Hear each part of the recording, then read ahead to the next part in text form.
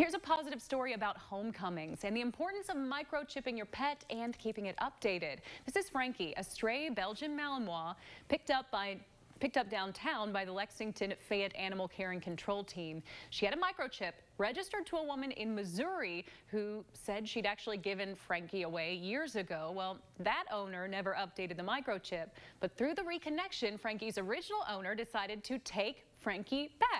As you can see, everyone seems pretty happy about that.